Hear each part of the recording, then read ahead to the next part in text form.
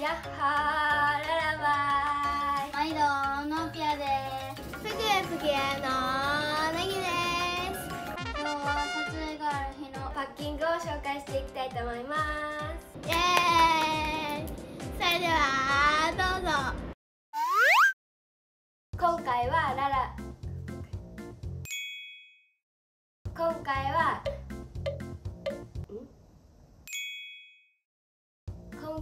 撮影で使う洋服や必要なものとかをバンバン詰めていきたいと思います。今回の撮影は1泊2日なのでお風呂の分とかもあるのでそういうのを詰めていきたいと思います。こっちはちょっとちっちゃいんですよね。ちっちゃめ。だいぶちっちゃめだね。こんな感じ。超ちっちゃいです。どこで買った。かキャリーはどこで買った。かはキャリーどこで買ったっけ？わからないんだよね。こっちは。こっちはわからないえっと冬とかはやっぱこんなちっちゃいキャリーじゃ入らなくって2台目を買ってこの2台目はどっかで買っどっかで買いました。冬だとブーツとかもあるしこれだとあります。撮影の時はやっぱ荷物が多いし飛行機で行かなきゃいけないからキャリーの中手荷物を預けるからダメなものとかあるしそういうのを考えたりして入れるのが結構だし特にララが荷物多い系女子だから今回は入れないかなってものとかを考えてパッキング頑張ってます。それではやっていきます。今回は荷物が少ないのでこっちのちっちゃい方のキャリーに入れていきたいと思います。これ一番最初からずっと持ってる。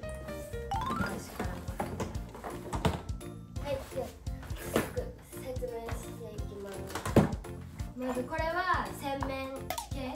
まず顔洗う時とかのヘアターバン。プーさんでいいですとかクシとかケープとか。これは病院でもらってる薬とか。もろもろ。入ってます。すぐ急に肌荒れ起こすから本当に一応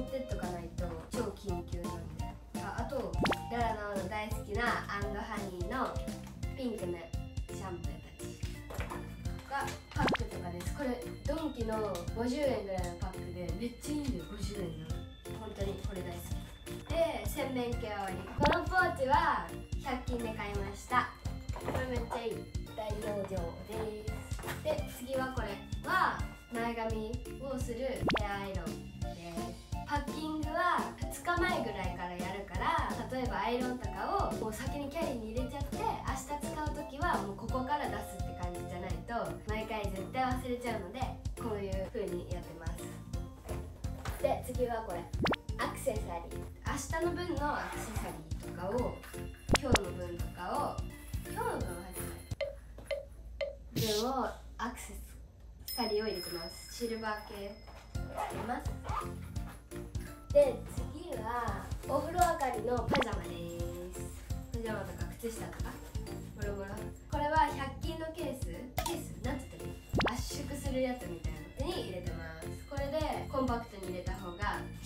入るからめっちゃいいこんな感じでグッてできる。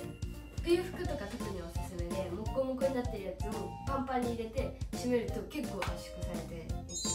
今からはこれに2日目の洋服を選んで入れていきます。じゃあ早速洋服選びます。洋服選びます。何？デニムコーデにする感じ強いたうん。に色が合うショーパン。これ合うかな？ショーパンとスカートだけでかなりあるよね。ね。ここやばいよねめっちゃ。めっちゃある。にバッグはバッグ絶対デニムのバッグです。デニムできたら。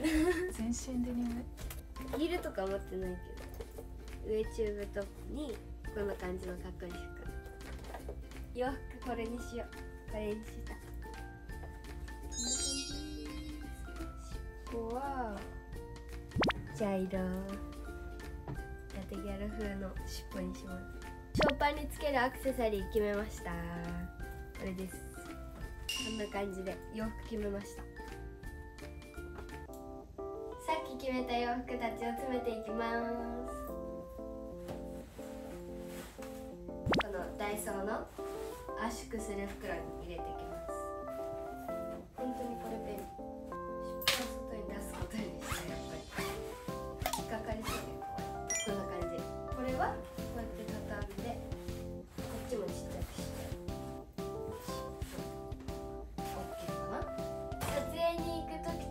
必ず持ってってるものは絶対メイク道具です。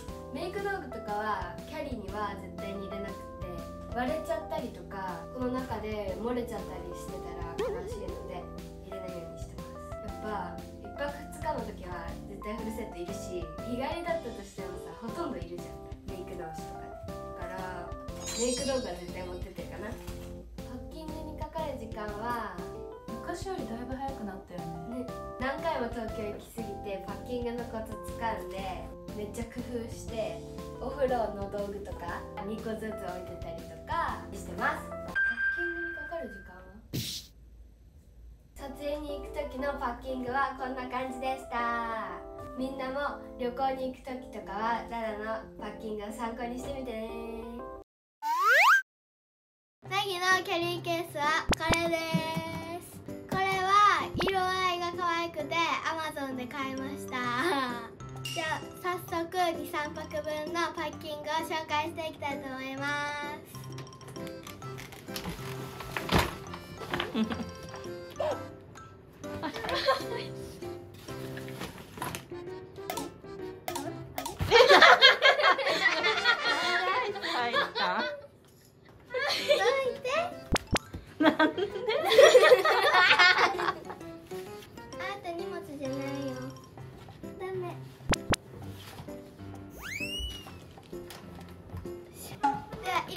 きます。収納する時のポイントはなぎ収納するときはだいたいシーンの袋にまとめていったら楽やしポーチとかも小分けに分けていったら楽ちんです。なんかわかりやすい。な。何日この日はこの服とかってな。そう。なぎってさ撮影に行く時の必ず持っていくものなんですか必ず持ってい。くものはねピンクの尻尾です、うん撮影の時につけてたらめっちゃ可愛い。です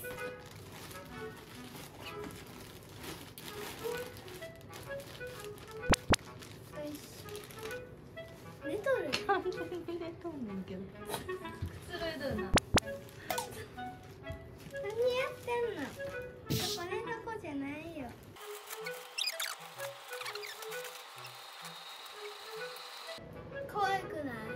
かわいいパジャマ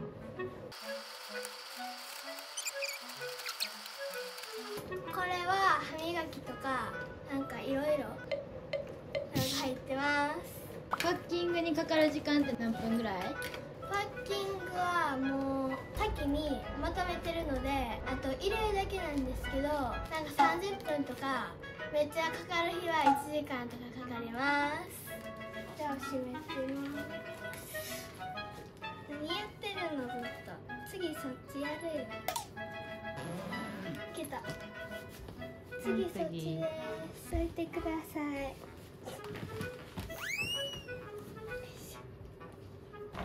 次はアクセサリーとか化粧水とかメイク道具とかいろいろ入れていきます。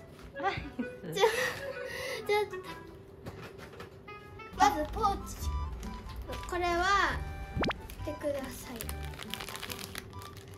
シュとかウエットティッシュとかカラコンとか太陽系が入ってます。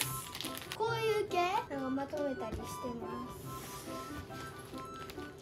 す。次これ。これはネイルチップのケースです。めっちゃ可愛い。このさ2つのポーチ可愛くない？いな。ケア部屋の。担当カラーの黄緑と好きな色。2つです次アクセサリー。こんな感じです。なんかハイビスカスのピンとか、うん。何使うかわからんからそうそういいろいろ入れてるよな。イヤリングとかヘアゴムとかいろいろ入ってます。これもアクセサリー系です。次鏡とあとメイクポーチをセット。これはグラサンとかうん。いろいろ入ってこれは絆創膏ケースです。おパンチのポーチにおパンチの絆創膏が入ってます、でこれはりわちゃんがなぎの誕生日にくれたポーチです。めっちゃ可愛くない？かわい。いこれはリップとかいろいろ目薬とか入れてます。これは顔とか髪の毛とかにつけるシールです これは化粧水とかヘアケアとかいろいろ入れてます。これはストレートアイロンです。これは巻き髪とかする時のコテです。これは必ず持っていくピンクの尻尾です。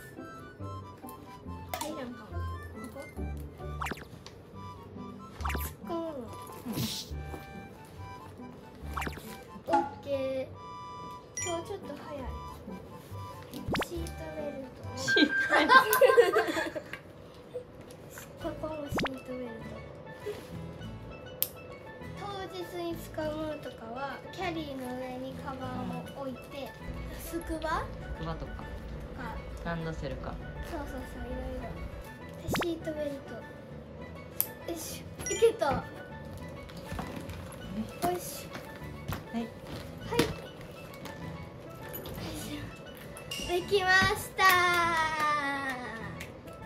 完成しました。ナギはプライベートと撮影の日の持ち物の違いはプライベートはバッグ1個で終わらせるんですけど撮影の日はこのキャリーのナギの持ち物プラスワンの持ち物がいっぱいあるからそれで荷物がいっぱいになりますぜひ皆さんもシーンの袋やポーチで活用してみてください。ナギのパッキング紹介はこんな感じでした。明日から撮影なので今から服とかをキャリーに入れていきたいと思います。でキャリーはこれめっちゃ入るくてこれ。楽天。楽天で買いました。シールはビッグのシールが2つあってこれはボクシンのシールですで下にギャルのステッカーが貼っていますこのキャリーのキャリーの一人分は違うこのキャリーに一人分の服を入れ入れていきますあそうそうそうそうそう。うん。あ前のあれや。ホテルの。前なんかこれ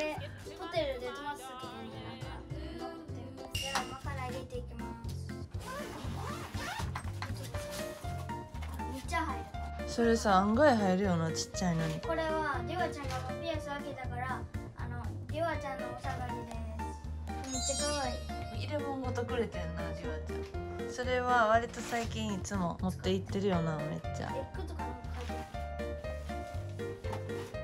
れはエッグとコラボのドンキかな。これはモンアちゃんと一緒に撮影してもらった時にサイン書いてくれました。お守りのように持って行ってるよないつもそれおすすめちゃんの？ササロニアのアイロン。これはサロニアのアイロンです。これは熱くてもなんか入れれるねここが開けたらわかるよな割と。こんな感じです。難しい。おお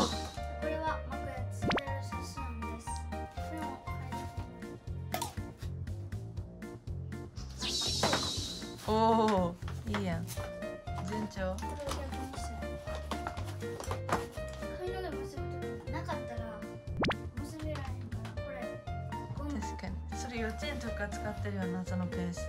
そういうシール。ポケモンのシール貼ってんもんな。次はこれウェーブのアイロンなんかこれめっちゃさぐにゃぐにゃなるなるあの5個やでえ5個もついてる？それ。1234ほんまやそれさ入れる時にさ難しいやん。ちゃんと入れな入らんやん。適当に入れたら。収納する時のポイントある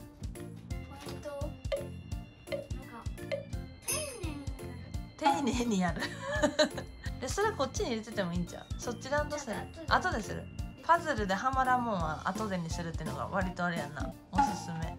これはうんマジでパンの子にもらったリクナちゃんっていう子にもらいました。めっちゃ可愛い。これうんこもともとついてるでそのうんちママがつけてんで。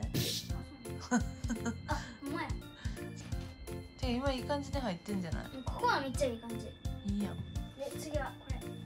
なんか髪の毛のケアとか。ヘアオイル。レメディアンのやレミディのやつ。なつあいいんじゃないおお服とかもいい。うまない結構さいつもママがさパッキングすること多いやん。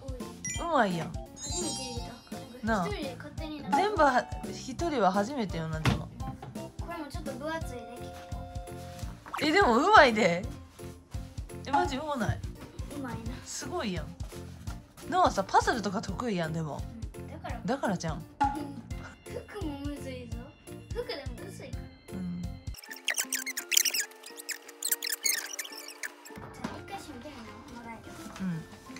うん閉まるよ。ただそのチャックが閉まるかじゃないえでもね案外閉まんねんそれ。閉まらんかなと思うやん。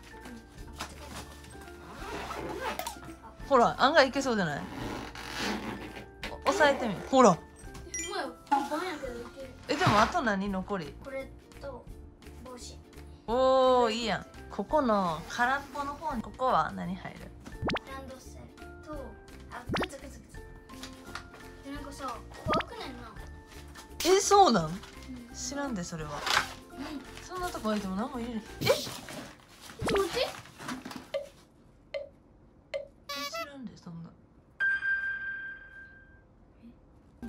初めましてやっえ一た回入れてみて。ちょうど見て見てほんピッタやん。え待ってすごない？新しい発見をしました。撮影の時とプライベートでの持ち物変わる？変わる。変わる？なんか服とかさあ撮影とかやったら変わるやんなんか。ーうんうんうん。23足ぐらい持っていく時もあるもんな。前さあの何やったっけ？ルックブックとかとか取った時さ靴4つぐらい持っていきたくない？そうであまりにも多い時はどうしてんやった前？靴。事務所に送った。靴をな。でそのロックブックをやるところで行ったらもう靴があるからそこにとコテとか帽子と、えーランドセルとかはあと靴はあのもう明日の朝に入れていきたいと思います。でノアパッキングにかかった時間はなんとちょうどほんまに11分ぐらい。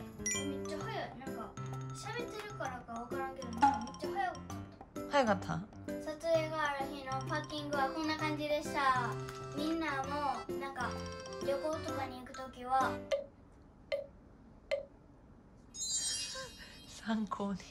参考にしてなずっとお願い。します。バイバイ。